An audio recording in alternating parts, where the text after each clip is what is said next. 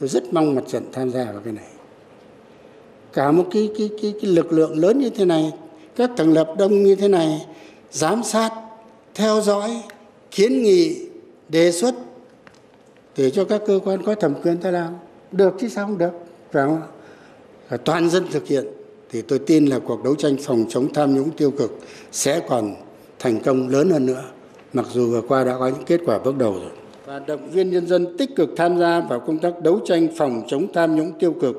thực hành tiết kiệm, chống lãng phí, phát huy vai trò tích cực trong tham gia kiểm soát quyền lực, giám sát để quản lý xã hội, công khai, minh bạch,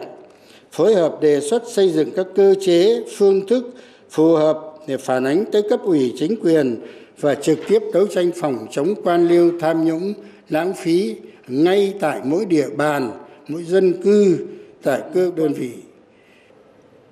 Tôi rất mong mặt trận tham gia vào cái này. Cả một cái, cái, cái, cái lực lượng lớn như thế này các tầng lập đông như thế này giám sát theo dõi kiến nghị đề xuất để cho các cơ quan có thẩm quyền ta làm. Được chứ sao không được? Phải không?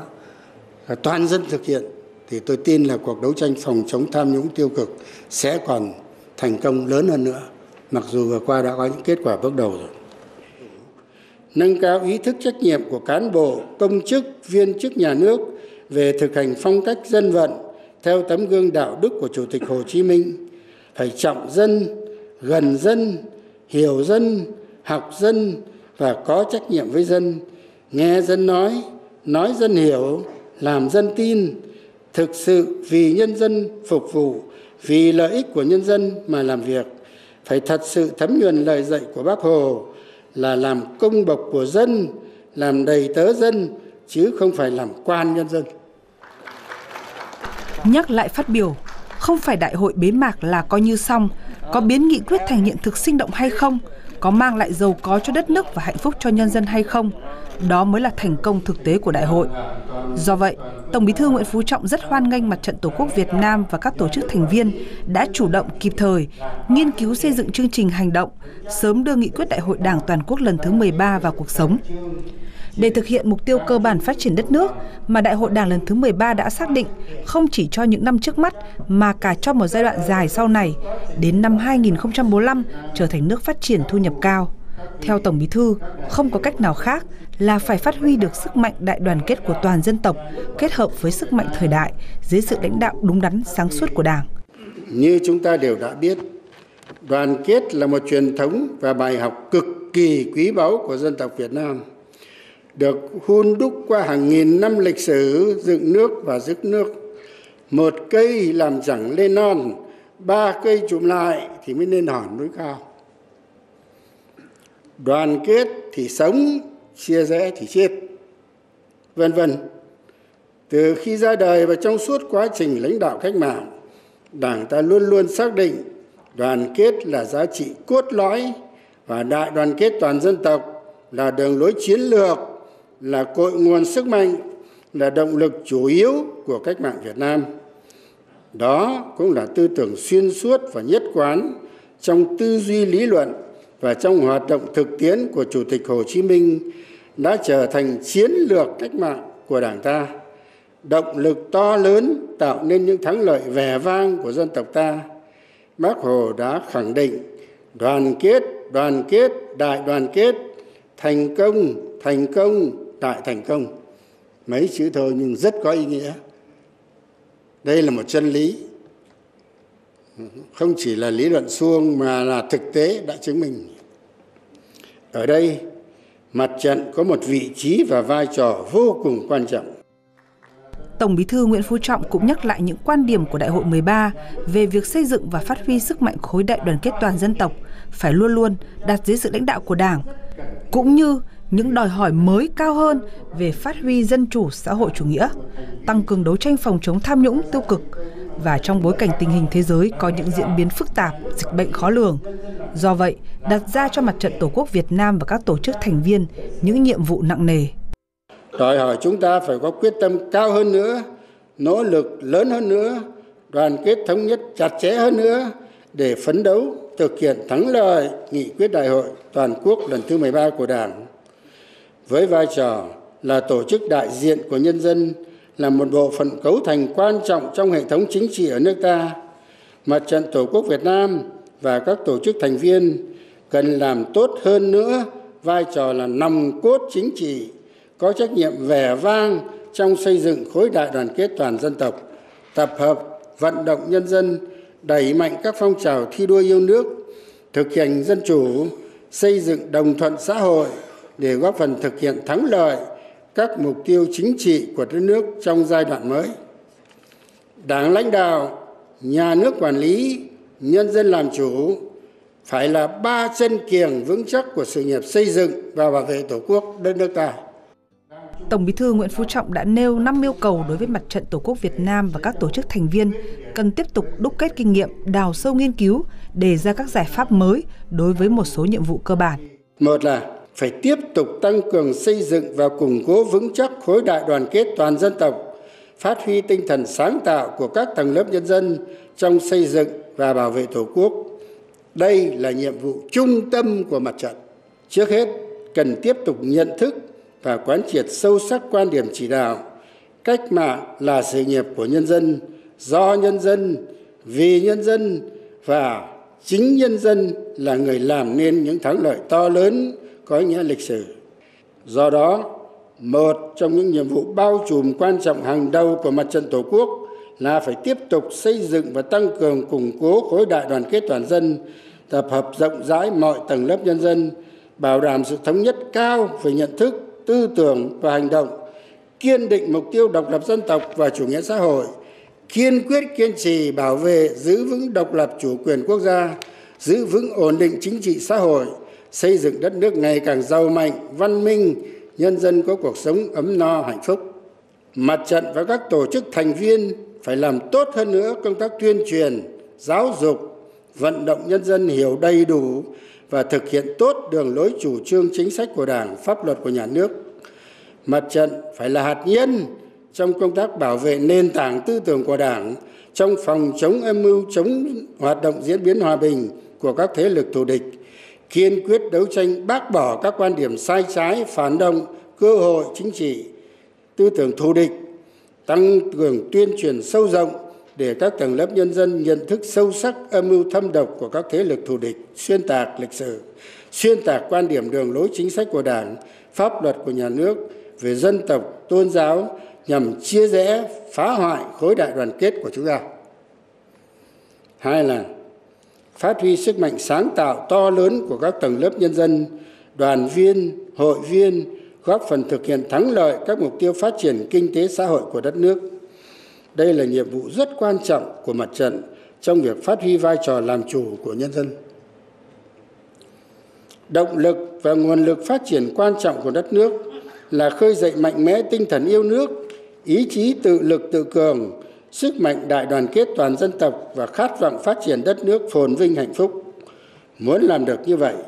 mặt trận tổ quốc cần thực hiện tốt hơn nữa vai trò nòng cốt trong việc chủ trì hiệp thương, phối hợp với các tổ chức thành viên và các cấp chính quyền, động viên, phát huy tốt hơn nữa vai trò đoàn kết các giai tầng, nêu cao vai trò của các cá nhân tiêu biểu trong các giới đồng bào, các dân tộc, tôn giáo người việt nam định cư ở nước ngoài quan tâm đến tâm tư, nguyện vọng và lợi ích thiết thực của mỗi tầng lớp nhân dân, tạo mọi điều kiện thuận lợi và vận động lôi cuốn để nhân dân tham gia mạnh mẽ vào các phong trào thi đua, các cuộc vận động do mặt trận và các tổ chức thành viên phát động, phát huy mọi nguồn lực, khả năng sáng tạo, đóng góp tích cực vào sự nghiệp chung của đất nước. Cụ thể là chú trọng phát triển giai cấp công nhân, cả về số lượng và chất lượng nâng cao bản lĩnh chính trị, trình độ học vấn, chuyên môn, kỹ năng nghề nghiệp, tác phong công nghiệp, kỷ luật lao động, thích ứng với cuộc cách mạng công nghiệp lần thứ tư. Phát huy vai trò chủ thể của nông dân trong quá trình phát triển nông nghiệp, phát triển kinh tế nông thôn, xây dựng nông thôn mới. Bây giờ nông nghiệp cũng đi vào hiện đại, cũng cơ giới hóa, nhiều cái đổi mới lắm. Cũng đòi hỏi phải có trình độ, phải có kỹ thuật À, thì mới có thể làm được. Rồi phải xây dựng đội ngũ trí thức ngày càng lớn mạnh, có chất lượng cao, đáp ứng yêu cầu phát triển đất nước trong tình hình mới. Trí thức đây là trí thức việt nam. Tư duy là tư duy của việt nam. Học tập kinh nghiệm của nước ngoài nhưng không bê nguyên si và không sao chép mà vận dụng sáng tạo. Và với tư tưởng hồ chí minh là một cái điển hình mà chúng ta cần học tập bác hồ là một trí thức vĩ đại đấy chứ. Đội ngũ doanh nhân ngày càng lớn mạnh về số lượng và chất lượng, có tinh thần cống hiến cho dân tộc, có chuẩn mực văn hóa, đạo đức tiến bộ và trình độ quản trị kinh doanh giỏi. Đây là một tầng lớp mới. Trong cái điều kiện mới, chúng ta phát triển sản xuất lớn, phát triển kinh tế tư nhân, coi đây cũng là một cái thành phần kinh tế rất quan trọng. Đây là doanh nhân việt nam. Phải có tư tưởng và cái phẩm chất của con người việt nam. Tăng cường giáo dục thế hệ trẻ về lý tưởng, cách mạng, đạo đức, lối sống văn hóa, nâng cao lòng yêu nước, tự hào, tự tôn dân tộc, nuôi dưỡng hoài bão, khát vọng vươn lên, tạo động lực trong học tập, lao động sáng tạo, khởi nghiệp, lập nghiệp, tạo mọi điều kiện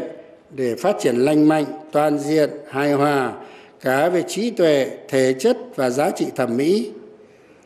thanh niên là tương lai của chúng ta là hy vọng của chúng ta. Đào tạo thế hệ cho đời sau là việc vô cùng quan trọng và vô cùng cần thiết trong di trúc bác viết thế mà. Nâng cao chất lượng nguồn nhân lực nữ thì chúng ta phải phát huy cái truyền thống của phụ nữ Việt Nam à, anh hùng. Trong công cuộc xây dựng và bảo vệ đảng nhà nước nhân dân và chế độ xã hội chủ nghĩa phát huy trí tuệ kinh nghiệm sống lao động của những người cao tuổi trong xã hội cộng đồng và gia đình. Không phải chỉ là kính lão đắc thọ, mà chính là các cụ tích lũy bao nhiêu kinh nghiệm, dày dặn kinh nghiệm lại có uy tín, từng hiểu biết rồi. Cho nên giới phụ lão cũng rất là quan trọng. Tổng Bí thư cũng yêu cầu phải bảo đảm các dân tộc bình đẳng, đoàn kết, tôn trọng giúp nhau cùng phát triển, chống tư tưởng kỳ thị dân tộc, dân tộc cực đoan, dân tộc hẹp hòi, nghiêm trị mọi âm mưu hành động chia rẽ, phá hoại khối đại đoàn kết toàn dân tộc, phát huy những giá trị văn hóa, đạo đức tốt đẹp và các nguồn lực của các tôn giáo cho sự nghiệp phát triển đất nước cũng như hỗ trợ người Việt Nam ở nước ngoài.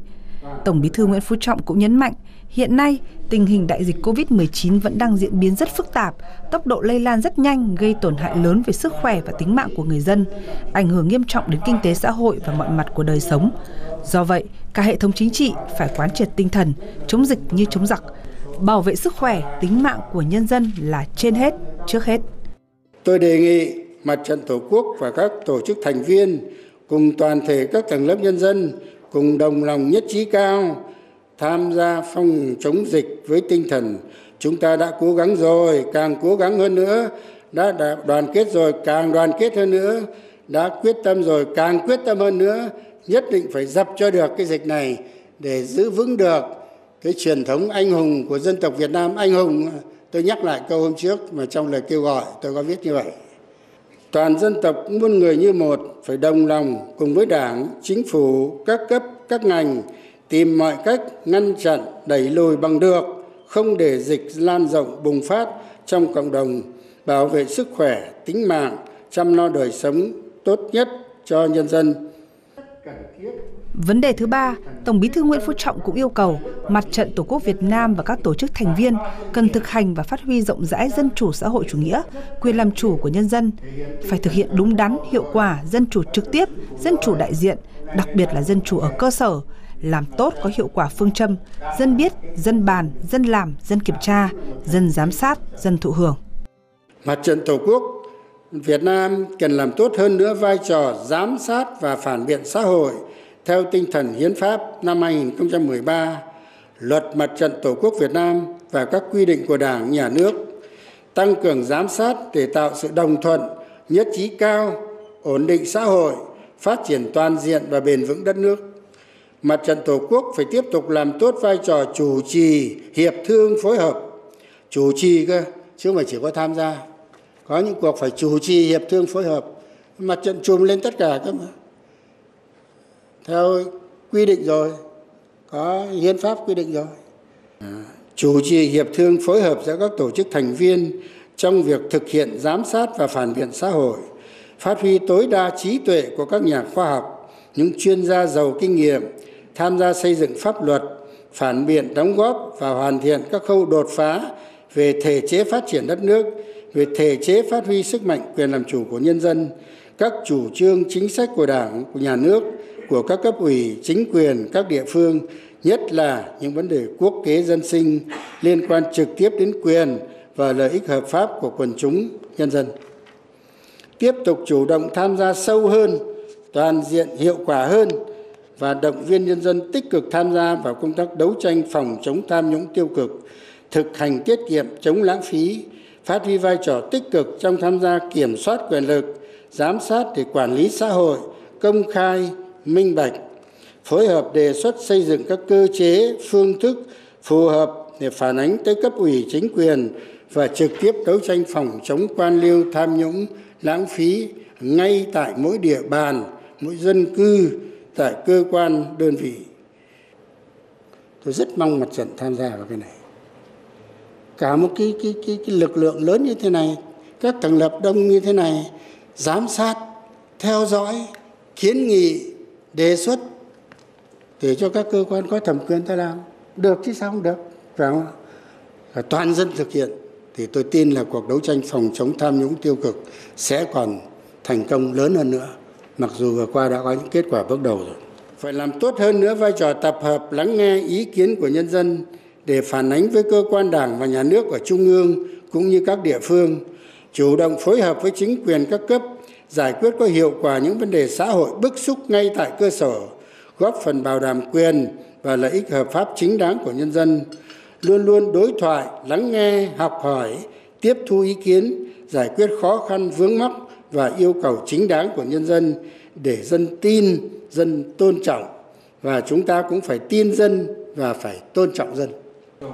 Về công tác xây dựng nội bộ, tổng bí thư yêu cầu mặt trận tổ quốc việt nam và các tổ chức thành viên cần tiếp tục hoàn thiện cơ chế, đổi mới nội dung, phương thức hoạt động, hướng mạnh về cơ sở, địa bàn dân cư, sâu sát với dân đẩy mạnh các phong trào thi đua yêu nước, thực hành dân chủ, tăng cường đồng thuận xã hội, thực hiện tốt vai trò giám sát phản biện xã hội, coi trọng việc nhân rộng các điển hình tốt, phê phán những việc làm chưa tốt, khắc phục bệnh hình thức. Muốn thế, phải kịp thời đề xuất, tháo gỡ những khó khăn vướng mắc, bất cập về thể chế, mô hình tổ chức, cơ chế hoạt động và nâng cao hiệu lực hiệu quả hoạt động của mặt trận và các tổ chức đoàn thể, phát huy hiệu quả vai trò chủ trì hiệp thương của mặt trận trong phối hợp thống nhất hành động với các tổ chức thành viên. Mặt trận và các tổ chức thành viên cần chú trọng việc phối hợp với chính quyền bằng các quy chế, chương trình, kế hoạch cụ thể để thực sự tạo nên sức mạnh của cả hệ thống chính trị thực hiện nhiệm vụ chung. Tập trung nâng cao chất lượng đào tạo, bồi dưỡng đội ngũ cán bộ mặt trận và đoàn thể có tâm huyết, có trách nhiệm với công việc đặc biệt là đội ngũ cán bộ hoạt động chuyên trách ở các cấp phải thật sự say mê với công việc, ra sức học tập, rèn luyện, nâng cao trình độ hiểu biết về các mặt, thường xuyên nêu gương, phải trở thành những tấm gương sáng để dân mến, dân thương, dân tôn trọng và dân lắng nghe tôn theo. Tập hợp phát huy tối đa vai trò đóng góp của các nhà khoa học, các chuyên gia, các cá nhân tiêu biểu trong các tầng lớp nhân dân trong các dân tộc các tôn giáo và người việt nam ở nước ngoài Tổng Bí thư Nguyễn Phú Trọng cũng yêu cầu phải tiếp tục đổi mới mạnh mẽ phương thức lãnh đạo của Đảng đối với mặt trận Tổ quốc và các tổ chức thành viên. Đảng lãnh đạo mặt trận thông qua việc phát huy vai trò thành viên của mặt trận chứ không đứng ngoài, đứng trên để lãnh đạo mặt trận. Trước hết, tôi đề nghị mỗi cấp ủy chính quyền cán bộ đảng viên phải tiếp tục quán triệt nhận thức sâu sắc về vai trò vị trí tầm quan trọng của công tác mặt trận trong tình hình mới, đề cao trách nhiệm của cả hệ thống chính trị đối với hoạt động của mặt trận tổ quốc, các tổ chức chính trị xã hội trong cơ chế đảng lãnh đạo, nhà nước quản lý, nhân dân làm chủ, nâng cao ý thức trách nhiệm của cán bộ, công chức, viên chức nhà nước về thực hành phong cách dân vận theo tấm gương đạo đức của chủ tịch hồ chí minh. Phải trọng dân, gần dân, hiểu dân học dân và có trách nhiệm với dân. Nghe dân nói nói dân hiểu, làm dân tin. Thực sự vì nhân dân phục vụ, vì lợi ích của nhân dân mà làm việc. Phải thật sự thấm nhuần lời dạy của bác hồ là làm công bộc của dân, làm đầy tớ dân, chứ không phải làm quan nhân dân. Đừng đứng trên nhân dân, không phải là cứ viết lên chán hai chữ cộng sản mà người ta nể sợ đâu muốn vận động nhân dân thì trước hết mỗi đảng viên, mỗi công chức phải thực sự gương mẫu, chấp hành đường lối chủ trương của đảng, chính sách pháp luật của nhà nước, đi đầu hướng dẫn các phong trào thi đua, các cuộc vận động do mặt trận và các đoàn thể phát động thông qua hoạt động của mặt trận và đoàn thể để đến với nhân dân. Chúng ta cần xem đó là cơ hội để gần dân, sát dân, hiểu dân tôn trọng và lắng nghe ý kiến của nhân dân, kiểm nghiệm xem các chủ trương của đảng, chính sách của nhà nước có đến được với dân dân hay không, có thuận lòng dân hay không đồng chí nào thờ ơ với hoạt động của mặt trận đoàn thể thì cũng đồng nghĩa với là xa rời quần chúng Tổng Bí thư đề nghị các cấp ủy chỉ đạo ra soát đánh giá tổng thể việc thực hiện các nghị quyết chỉ thị, kết luận và các chủ trương về xây dựng khối đại đoàn kết toàn dân tộc và về công tác mặt trận. Trên cơ sở này, tiến tới xây dựng chiến lược đại đoàn kết toàn dân tộc trong giai đoạn cách mạng mới. Bên cạnh đó, cần quan tâm nghiên cứu hoàn thiện thể chế, cơ chế, chính sách pháp luật, tạo mọi điều kiện để nhân dân phát huy quyền làm chủ, tham gia có hiệu quả vào quản lý nhà nước, quản lý xã hội, hoàn chỉnh cơ sở pháp lý cho các hoạt động của mặt trận và các tổ chức thành viên. Tôi đề nghị cần tiếp tục nghiên cứu để hoàn thiện luật pháp về giám sát và phản biện xã hội, tạo điều kiện thật tốt để phát huy vai trò giám sát của nhân dân, giám sát trực tiếp và giám sát thông qua vai trò của mặt trận và các đoàn thể nhân dân, thông qua các cơ chế khác nhau như nghị quyết liên tịch, quy chế phối hợp, chương trình phối hợp vân vân để vừa tăng cường hiệu lực hiệu quả quản lý nhà nước kết hợp với phương thức vận động tập hợp nhân dân tạo thành sức mạnh chung để giải quyết có hiệu quả các mục tiêu nhiệm vụ kinh tế xã hội của mỗi địa phương nhất là những nhiệm vụ cấp bách về xóa đói giảm nghèo, về an sinh xã hội, xây dựng nông thôn mới, phòng chống dịch bệnh, vân vân. Làm được như vậy sẽ có lợi cho cả nhà nước và mặt trận, và nhất là cho nhân dân trong việc phục vụ lợi ích của toàn dân. Tổng Bí thư Nguyễn Phú Trọng tin tưởng Mặt trận Tổ quốc Việt Nam và các tổ chức thành viên tiếp tục có những hoạt động năng động, sáng tạo, đổi mới mạnh mẽ hơn nữa, thiết thực hiệu quả hơn nữa, tập hợp ngày càng đông đảo các tầng lớp nhân dân trong khối đại đoàn kết dân tộc,